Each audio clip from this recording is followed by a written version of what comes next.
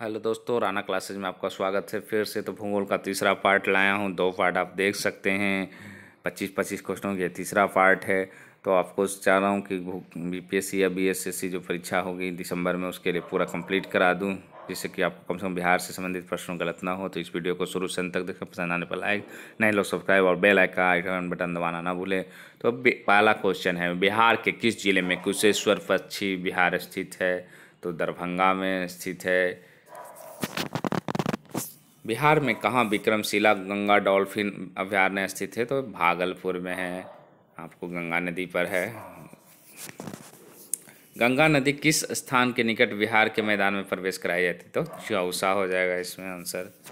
चार ऑप्शन है, आरा, बक्सर भगवा तो चौसा तो क्या होगा? चौसा हो जाएगा।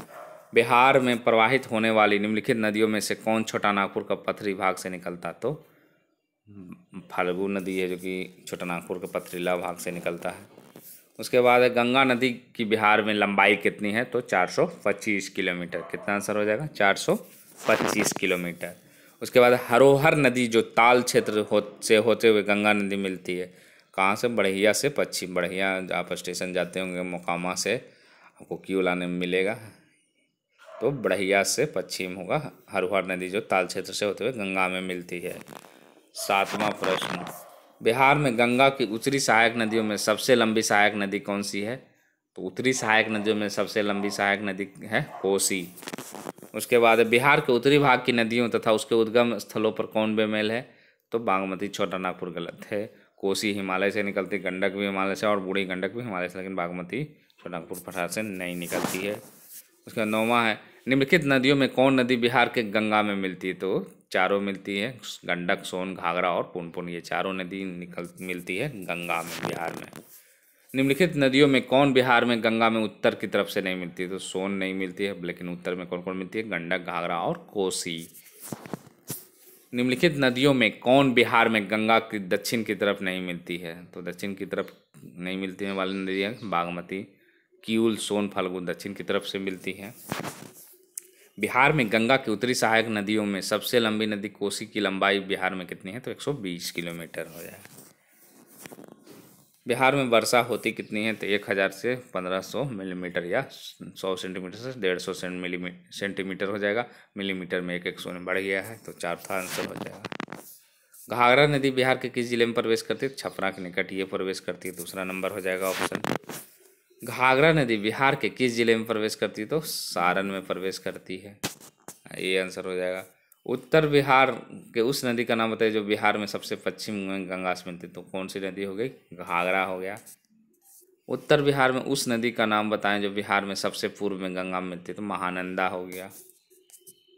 दक्षिण बिहार की वह कौन सी नदी है जो सबसे पश्चिम से बिहार में गंगा नदी मिलती तो सोन हो गया। गंगा नदी के दक्षिणी भाग में कौन सी नदी है जो सबसे पूर्व में बिहार में गंगा मिलती है? तो चंदन हो गया, नदी, चांदन नदी जो है। उत्तरी बिहार के मैदान की सबसे पूर्वी नदी जो गंगा मिलती है तो महानंदा हो गया।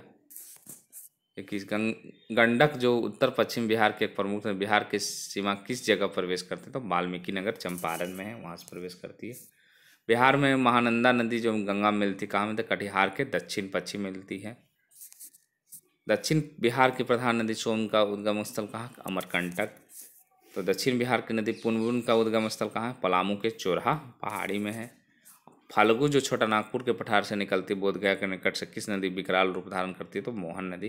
तो एक चीज़ देख रहे होंगे कि जब तक आप मानचित्र के साथ आप, आपको मानचित्र क्लियर नहीं रहेगा तो ये आपको बिल्कुल नहीं बुझाएगा कि दक्षिण पश्चिम क्या है उत्तर। तो आप ट्रिक वाले जो है, उसको मेरे चैनल में है तो उसको आप देख सकते हैं, फ़ायदा उठा सकते हैं। इसीलिए अगर आप ऐसे ही पढ़ते हैं कि उत्तर पूर्वी तब एक भी क्वेश्चन सही नहीं कर पाए, क्योंकि माइंड में आपको बिल्कुल सेटिंग नहीं है कि महानंदा कहाँ से निकली, गंडक कहाँ से निकली और गंगा कहाँ से निकली। तो आप अगर मानचित्र है और उसको नदी के साथ मानचित्र को देख लें तो आपको आइडिया हो जाएगा कि वो फल्गु है, अब जैसे गंडक है। वाल्मीकि नगर निश्चित है कि ऊपर में ही रहेगी उत्तरी बिहार में। ऐसा नहीं कि माइंड में नहीं तो दक्षिणी बिहार में मार दिए।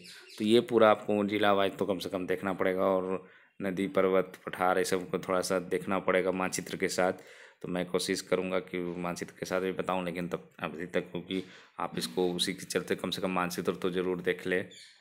और तो मेरा प्रयास है कि बिहार स्पेशल कंप्लीट करा दूँ, जिससे आप लोगों को कोई परेशानी ना हो। तो धन्यवाद।